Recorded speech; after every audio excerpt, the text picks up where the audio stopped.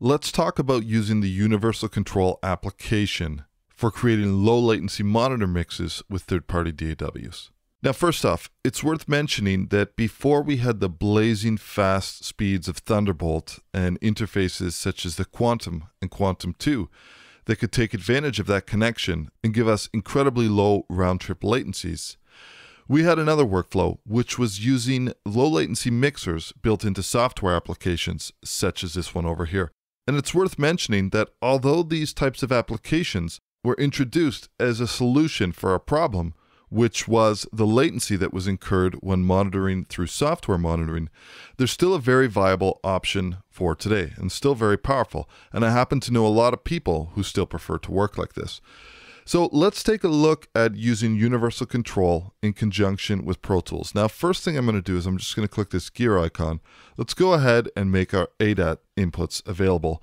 You'll notice that as soon as we make our ADAT inputs available, we have a lot of different channels that we can manage. So this would essentially allow us to manage a 26 channel session. So we could have our eight built-in mic or line inputs the first two being instrument as well. Then we have two banks of ADATs. So we have ADATs 1 to 8, and then we have ADATs 9 through 16.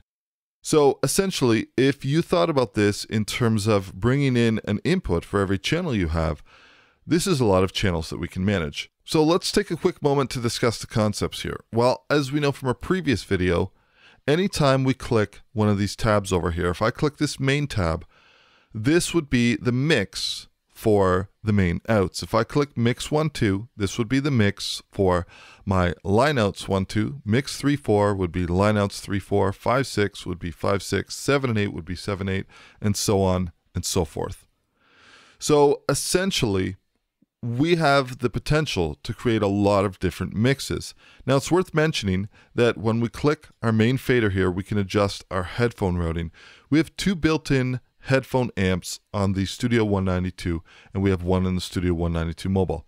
We can route the headphone source of either one of these headphones directly to a set of outputs. So in this example, I have all these different outputs that I can choose to route my headphones. Now I'm going to be listening to the main mix. So essentially, we're only going to have to deal with one mix for this. So let's go into our DAW, which in this case is Pro Tools, and you can see that I have created some channels over here. And I've essentially created channels for the first eight analog inputs. And in addition to that, I have two SPDIFs and all of my ADATs. So let's just take one microphone over here and let's use my voiceover mic, which is currently routed to input 3 in Universal Control.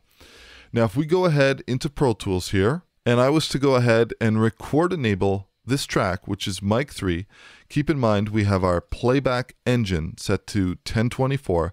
Let's see what happens. Check, check. Okay. So you can see that we're listening to the main input that's coming through universal control. But in addition to that, we're also listening to the DAW output that's being routed with our hardware buffer of 1024. Hence, we're getting this latency, this slapback, and it's very hard to record this way. Just go ahead and deselect this for now. In Pro Tools, we have a way that we can combat this, and that is by heading to our Options tab and engaging this low latency monitoring. So let's go ahead, let's re-engage this track over here. We'll head to Options, and we'll engage low latency monitoring. Now you see, as soon as we engage low latency monitoring, that the outputs that were coming out of the master one, which represents my main outs, they've disappeared. That's because essentially what's happening is Pro Tools is cutting off that output. So now what we're able to do is we're able to manage our headphone and our monitoring levels directly from within the Universal Control application. So now I'm listening to my main outs, and I could even go back to Pro Tools over here. Let's just switch our windows up. Let's go back a little bit and let's engage recording. So now I'm recording a track. It's going through input 3 I'm recording in Pro Tools, but I'm actually doing all of my monitoring through the Universal Control application.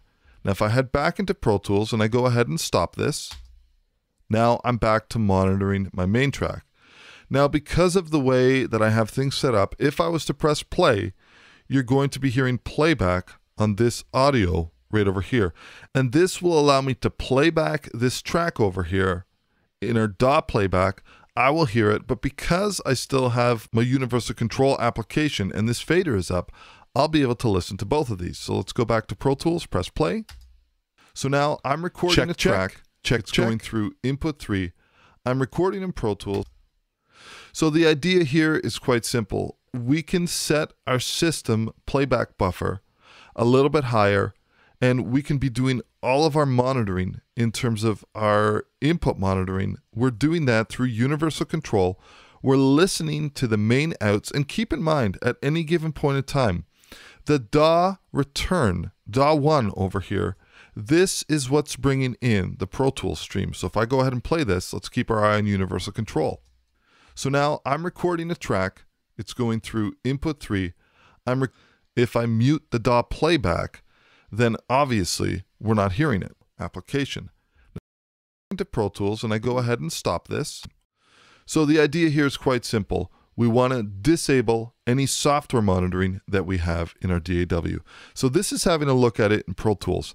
Let's go ahead right now and let's have a quick look at Logic Pro. This is very similar, but it's a little more easy when it comes to Logic Pro.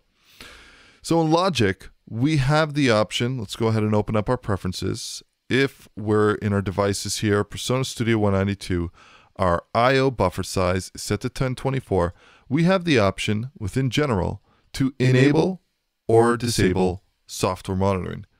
Now you'll notice I also have it mapped up up here. We can go ahead, right click, customize our control bar, and we can make in under modes and functions, we can make software monitoring visible up top over here. I find that very useful. So now if I have this track input enabled and record enabled, by default, most people would leave software monitoring on. So now we're hearing that delay again because we're hearing the universal control input in terms of my live mic, and we're also hearing the DAW output. But if we go back into Logic and we disable software monitoring, now we're only hearing our input. And of course, we can go ahead, we can record some material in Logic over here, and I will be listening to my input through universal control on the input side. But if I needed to go ahead and do any punch ins, I could come back. Let's wind back to the top. Maybe we'll play from somewhere about here. I could engage play and I could essentially drop in to do a punch in, and we will hear both. So this makes it very usable in terms of doing punch ins, but through universal control on the input side. And then I can come in here to do my punch in, and then I can drop out or just push stop wherever I need to. So I'm able to hear both of these, and I can do that very, very easily simply by disabling our software monitoring option in Logic or the DAW, and then we're listening to our live input. Now it's worth mentioning that this is also possible in Studio One. So let's go ahead. We're going to boot up Studio One. And although Studio One doesn't have an option per se to disable software monitoring, it does kind of have a backdoor approach in terms of how to do this. So we have a track over here. Let's go ahead, just make sure we're set to Studio 192. And I've got the same amount of inputs brought up. What I want to do is talk about how we can do this in Studio One.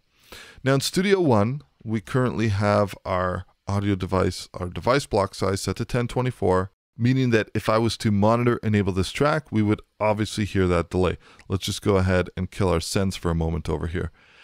Go ahead and monitor. Now you can hear we have this slap because I have a 1024 device block size setting. So let's go ahead and disable that.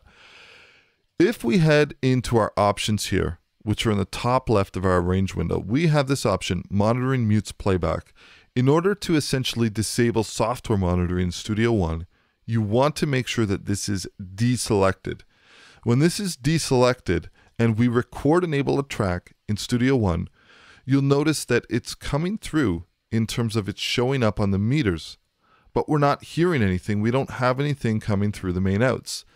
If I was to go ahead and enable our monitors, now you see we have it coming through the main outs and we have that flange or that flaming, that latency of those two signals playing over top of each other. Click our monitor button. Now essentially what we can do in Studio One is the exact same thing. We could monitor entirely through our universal control application. And of course, our DAW playback will be coming through on this fader in universal control. Now, one last thing to touch on really quickly here is that regardless of which DAW you are using, at any given point in time, if we decide that we want to print the effects that we're monitoring through, we can click this gear icon and we can use the presend or postsend. So when we're using the presend, we're simply monitoring through any fat channel controls that we have. So for example, I can engage the EQ. You're not going to hear this now, but I'm hearing this because I'm monitoring through this. But if I wanted to actually record this and pass this on so that it's printed, I can just click the post send. Now, when I click the post send, any EQ changes that I make in terms of either boosting or cutting, these will actually render into the audio file so that you can print these effects regardless of which DAW you're working with. Click the Presend tab, and now these effects are simply being used for monitoring but not printing. So, just to recap, at any given point in time on a per channel basis, we can print the fat channel effects that we're using simply by clicking this post send option. Clicking presend means that we're only monitoring through those effects. And of course, when we're working with universal control, that we also have our built-in reverb and our built-in delay so that we can dial up these effects. And it's worth mentioning that these would be monitoring only. So, for example, you would just simply click this main tab, and then we could adjust our effects levels in terms of our reverb and our delay. Now, I currently have these muted just because it's a little bit distracting when I'm doing the voiceover. But this is the basic concept. We can use this universal control application to set up all of our mixes across all of our inputs and then we can use these individual mixes and I currently have my ADATs enabled just to show you how many different mixes we could potentially be managing through this low latency software monitoring application. And of course, we can be sending this to our DAW of choice, and we have the choice to either monitor by clicking the presend or print by clicking the postsend options that we have available on a per channel basis in Universal Control.